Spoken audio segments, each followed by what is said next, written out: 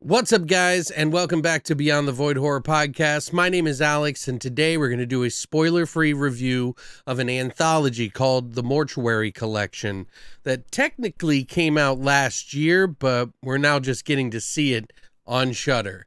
So let's dive into it.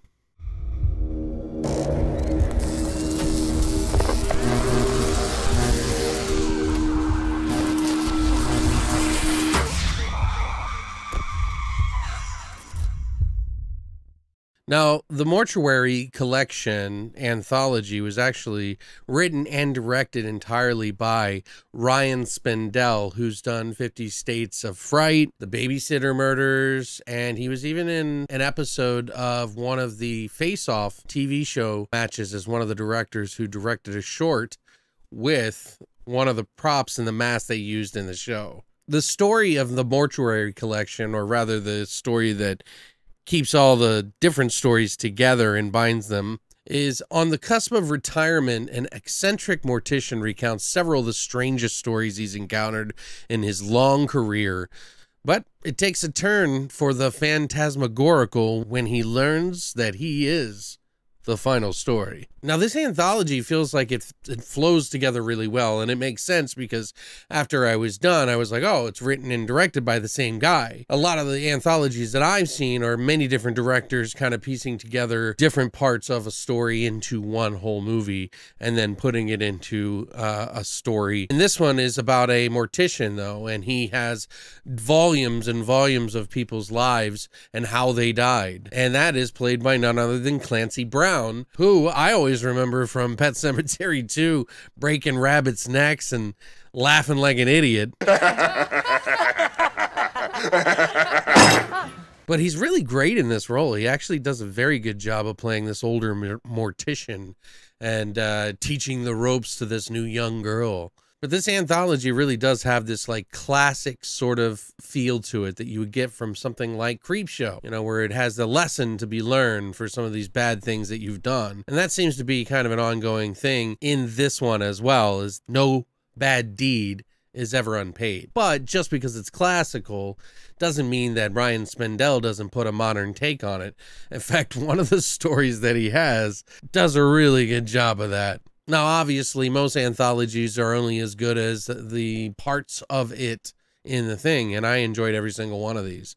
In fact, I thought this was a very solid release. Some are saying that they want to see more of these, which I don't disagree at all because it seems like this has a really good budget. Everything looks really polished and clean. And I like the aesthetic of this film because it, it just has this really nice aesthetic that kind of like flows into all the different stories as well as the one with Clancy Brown as the mortician. They all have this really nice look to it and feel. Hell, some of the characters even cross pollinate in different stories.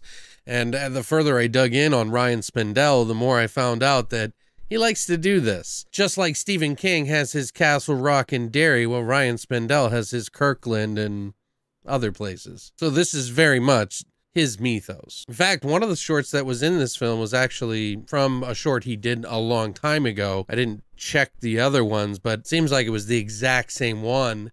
And it's the only short in this film that actually has a title card. So I would assume that's the one. And that was really a good one to end up on. And the way that it all ties these all together in the story that they're having, it made it really a really enjoyable watch. And uh, I think you should check it out. If you have Shudder, I would definitely give it a whirl. While it may not be the gore fest that you're looking for, it has gore in there and it has blood in there, but it's it's going for somewhere between classic and modern.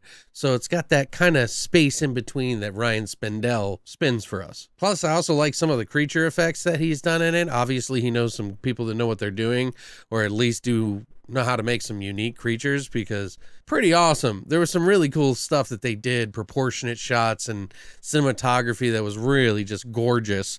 And one of the things that I love the most about that, if you're going to have great cinematography, nice aesthetics, great acting, what's left? You really got to kind of have the music. And in this movie, not only do they have a great score by the Mondo Boys, which is beautiful. But they also have some soundtrack music that's really well fit into this. Someone needs to give Ryan Spindell the keys to his own feature and let him run the ship because it seems like he might know what he's doing. Pretty impressed with this work overall. I didn't get blown away by it, but I definitely think it's a solid film regardless.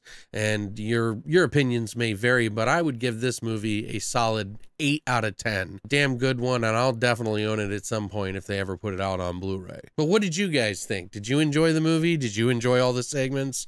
There's technically four if you're not including the story in between that ties it all together. And even that's great too. So it just felt like it created its own world. And I love that. It's commanding. It shows that he's got a prowess when it comes to writing and directing. Hopefully, we can see another movie in the future and maybe this time just a full on feature. So, what do you guys think? Would you like to see one? Let me know in the comment section down below. And if you enjoyed this video, please hit the like and subscribe button.